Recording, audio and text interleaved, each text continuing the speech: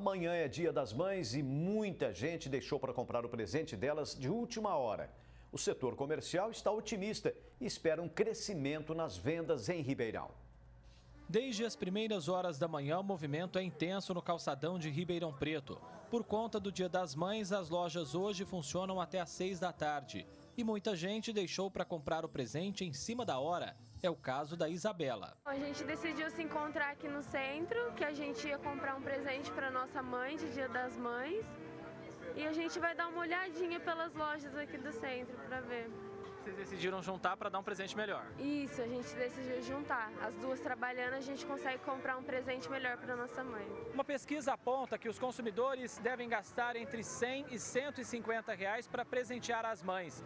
Entre os itens mais procurados estão roupas, calçados, acessórios, os itens de perfumaria e também os chocolates. Eu queria gastar em faixa assim até de uns 100, 150 reais. E o que você está pesquisando aí? O que você está de olho por enquanto? Eu gostei do kit de hidratante é, com sabonete, mas eu queria um perfume também para complementar.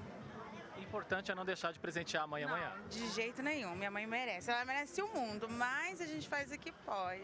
Ah, já pesquisou, já comprou? Não, ainda não, tô pesquisando agora. É? Sim. Quanto você pretende gastar aí mais ou menos? Ah, no máximo uns 100 reais. E o que, que, tá, que, que é até agora? Qual que é a sua ideia até agora de presente aí pra mim? Ah, um perfume, assim, algum hidratante, alguma coisa pra minha mãe, ela ia gostar bastante. Não pode deixar de presentear a mãe amanhã. Com né? certeza. Ah, já comprei uma florzinha pra ela e fiz uns artesanatos pra ela, umas bijuterias. Uma pulseira e um brinco. Vai tudo pra ela amanhã. Vai tudo pra ela amanhã. Uma pessoa muito importante pra você.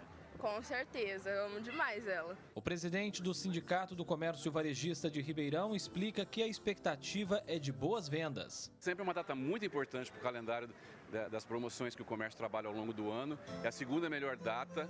A gente vem de uma média nacional entre menos um e mais um, mas o Ribeirão Preto, por ser um centro comercial atraente para a região, a gente tem uma expectativa positiva aí entre 1 e 5%, entre 3 e 5%.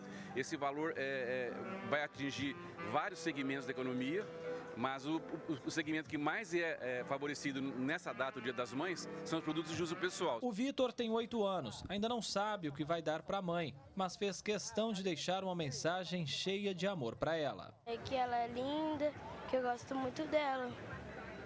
Aí eu fico todo dia com ela e eu cuido da neném que a gente tem, entendeu?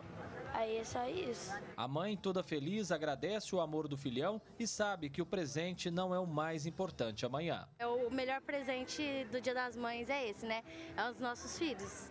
Eu não tenho nem palavras para falar o tanto que é um amor dos nossos filhos.